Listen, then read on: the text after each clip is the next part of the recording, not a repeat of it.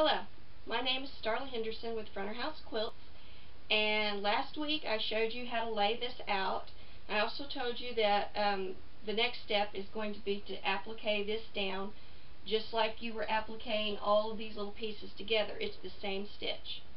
So once you've got all of this laid out and pinned in place or glued in place, whichever works for you, I'm going to show you once again this applique stitch and, that, and all you do is you're going to go around. Now I did change the color of my thread. I applique all of my reds and then all of my greens because you want your thread to blend with what you're appliquing.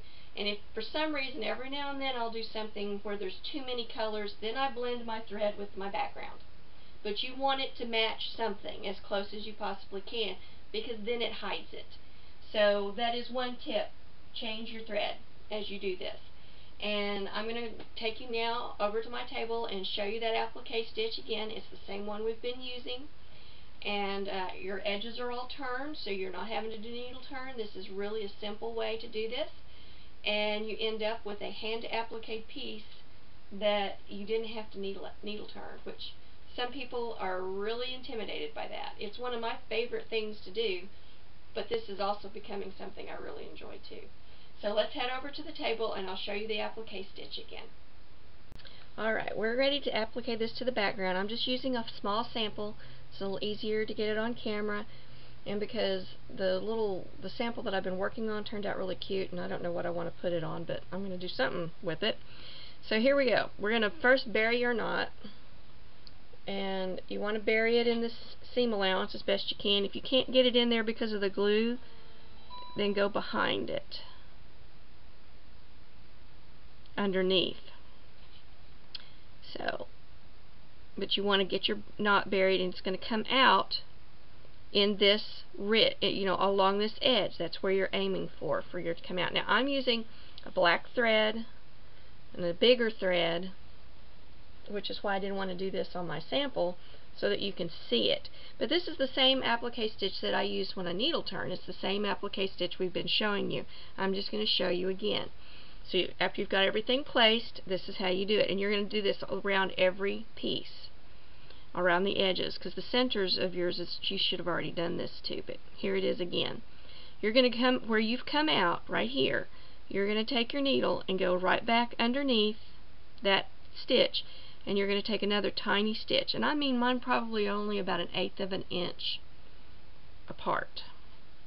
And you're going to pull it through.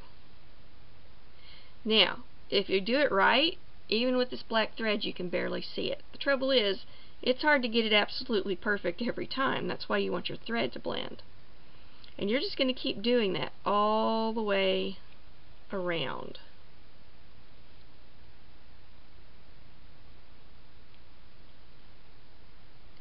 And I'm going to go up to the end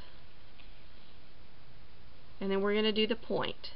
You have to remember, these are already turned. So you're just sewing this down. This is this is easy part. It's good sitting in front of the TV kind of thing. You know, watching the kids play play or I used to when my kids were younger and I was running them everywhere under the sun. If I was waiting for for them in the car or something, I would bring something like this and work on it in the car. Because you don't have much to do, you're just stitching it down. I liked English paper piecing in my car also because it was so portable.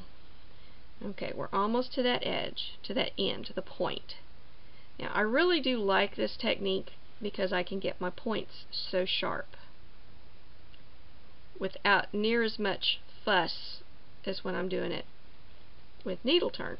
There's there's a place for every kind of applique though. So once you've got this down, look at some of my needle turn videos and and work on that. Okay, I'm going to go back up. When I come to that point, I'm coming right up at one side of that point. Just like if I were doing this needle turn, I've got to get both sides secured. So I'm going to bring that up. It's a little bit, there's a lot of fabric in there. I'm going to turn my work I'm going to go back down and I'm probably going to have to go down and then back up, not like I usually do. but because I want to make sure I come up in the exact right spot. And I'm going to come back up on the other side of this point, right there. You can see where I'm coming. It's just, just right on the very other side of that tip. And I'm going to start working my way back down, making little tiny stitches around this point so that I'm sure to secure it. Okay. And then I'm just going to keep going back down the other side. And I'm going to do this around the whole piece. And like I stated before, you're going to do this same stitch around every one of the flowers and also on both sides of your bias strips that you've laid out for your little curlicues on there. And that's all there is to this. It's a very easy stitch. And if you look at the back, it's very tiny stitches. You don't want very big stitches. That's what is going, excuse me, going to keep everything where you want it when you pull these papers out. Now, if you use the applique papers, and you don't have to worry about pulling the papers out, this will be your final step. If you're using freezer paper, then next week I'm going to show you how I take my papers out with um, when I use freezer paper. And one reason that I use the double layer of um, freezer paper to do this with instead of a single layer is because it makes it less likely as I'm doing this part for me to puncture it so that I don't have as much trouble with pulling my stitches out when I do this last part. But that's how you applique, that's the applique stitch and how you applique it down. Next week we'll pull the papers out. Thank you for joining me. My name is Starla Henderson with Fronterhouse Quilts.